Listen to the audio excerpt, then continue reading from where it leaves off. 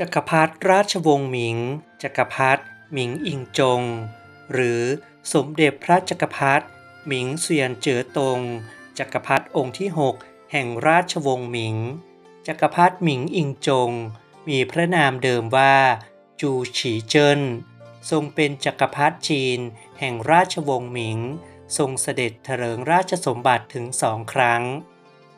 ในครั้งแรกระหว่างคศ 1435 ถึง 1449 ใช้นามรัฐศกว่าเจิ้งทง นับเป็นรัชกาลที่ 6 แห่งราชวงศ์หมิง และครั้งที่สองระหว่างคศ 1457 ถึง 1464 ใช้พระนามรัฐศกว่าเทียนซุน นับเป็นรัชกาลที่ 8 แห่งราชวงศ์หมิง นอกจากนี้ ยังนิยมเรียกขานนามตามพระอารามนามว่าอิงจง จักรพรรดิหมิงอิงจงทรงเป็นพระราชโอรสในเซียนเต๋อหวงตี้จู จานจี กับจักรพรรดินีซุน มีพระนามเมื่อแรกเสด็จพระราชสมภพว่าจูฉีเจินและเมื่อเจริญพระชนมายุได้สี่เดือนทรงได้รับการสถาปนาเป็นหวงไทจือ และเมื่อเจริญพระชนมายุได้8พรรษา จักรพรรดิหมิงอิงจง ทรงเสด็จเถลิงถวายราชสมบัติต่อจากจักรพรรดิเซียนเตอ๋อทรงใช้พระนามสักการาชว่าเจิ้งทง โดยมีเฉิงเซียวเจ้าไทห่วงไทโฮ เป็นผู้สำเร็จราชการแทนพระองค์ เมื่อแรกของราชสมบัตินั้น ราชวงศ์หมิงรุ่งเรืองถึงขีดสุด เพราะการปกครองอันชาญฉลาดในรัชกาลของสมเด็จพระชนกนาถแต่เพราะจักรพรรดิหมิงอิงจง ยังทรงเป็นเพียงยุวกษัตริย์ แวดล้อมไปด้วยขันทีพี่เลี้ยง และเมื่อเฉิงเซียวเจ้าไทห่วงไทโฮ สวรรคต ขันทีหวังเจินจึงเริ่มขึ้นสู่อำนาจ การต่อมาได้มีอิทธิพลต่อจักรพรรดิหมิงอิงจง ทำให้พระองค์อาศัยความคิดอ่านของขันทีเป็นหลักในการว่าราชกิจ ครั้นคศ 1449 เมื่อเจริญพระชนมายุได้ 21พรรษา จักรพรรดิหมิงอิงจงนำทัพหลวงออกรบกับชาวมองโก ซึ่งนำโดยราชครูเยเซียน จากเผ่าวาล่าณปราการถูมู่ เสด็จครั้งนี้ มีขันทีหวังเจิ้น เป็นที่ปรึกษาประจำทัพ แต่เกิดโกราหลทัพหลวงแตกพ่าย หวังเจิ้นถูกฆ่าตาย และจักรพรรดิหมิงอิงจง ถูกมองโกจับเป็นเฉลย เหตุการณ์ครั้งนี้เป็นที่รู้จักกันในชื่อ วิกฤต ถูมู่ แม้จักรพรรดิหมิงอิงจงจะอยู่ในแคว้นมองโกในฐานะเฉลย แต่ก็ได้เป็นมิตรสนิทสนมกับราชครูเยเซียน และขานทัวทัวปู้ฮวาอย่างไรก็ดี การที่จักรพรรดิถูกจับเป็นเฉลยทำให้เกิดภาวะไร้ผู้นำจนแผ่นดินจีนสั่นคลอน เพื่อระงับสถานการณ์บ้านเมือง ในวันที่ 6 กันยายน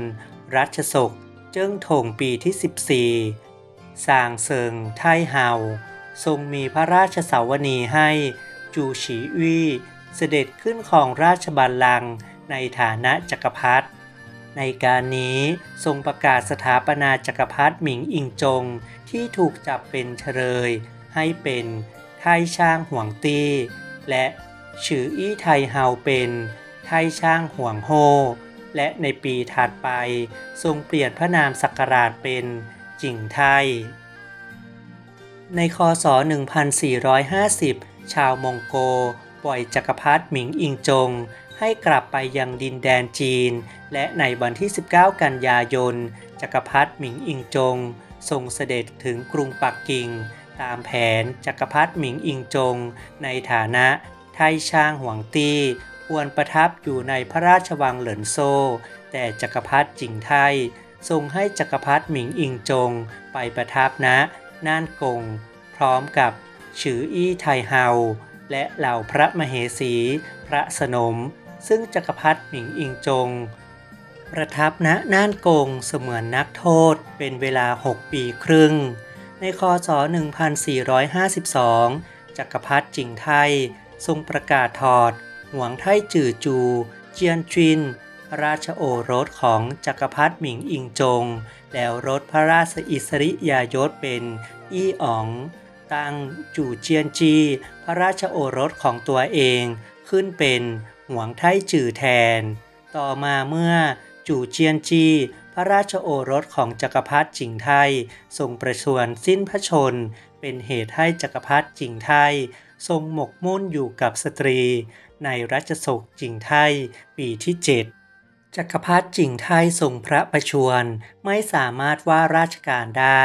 จักรพรรดิหมิงอิงจง จึงอาศัยโอกาสนี้ก่อการฟื้นฟูราชสมบัติเสด็จขึ้นของราชอีกครั้ง เมื่อขึ้นของราชทรงประกาศถอดจักรพรรดิจิงไทออกจากราชสมบัติลงเป็นเจ้าชาย และให้กักบริเวณไว้ที่สี่เยียนไม่นานหนึ่งเดือนให้หลังก็เสด็จสวรรคต จักรพรรดิหมิงอิงจง เสด็จกลับขึ้นเสวยราชอีกครั้ง ทรงใช้พระนามราชโศกว่าเทียนซุน อยู่ในราชสมบัติ 7 ปี ก็เสด็จสวรรคต ในคศ 1464 สิริพระชนมายุได้ 36พรรษา ก่อนเสด็จสวรรคต จักรพรรดิหมิงอิงจง ทรงออกพระราชกิจสฎีกา การยกเลิกประเพณี การฝังนางสนมกำนันทั้งเป็น เพื่อตามไปถวายการรับใช้ในปรโรค พระราชกิจสฎีกานี้เป็นที่ยกย่องอย่างยิ่งในภายหลัง และจูเจียนจิน พระราชโอรส สืบราชบัลลังก์ต่อ ใช้พระนามราชโศกว่า เฉิงฮัว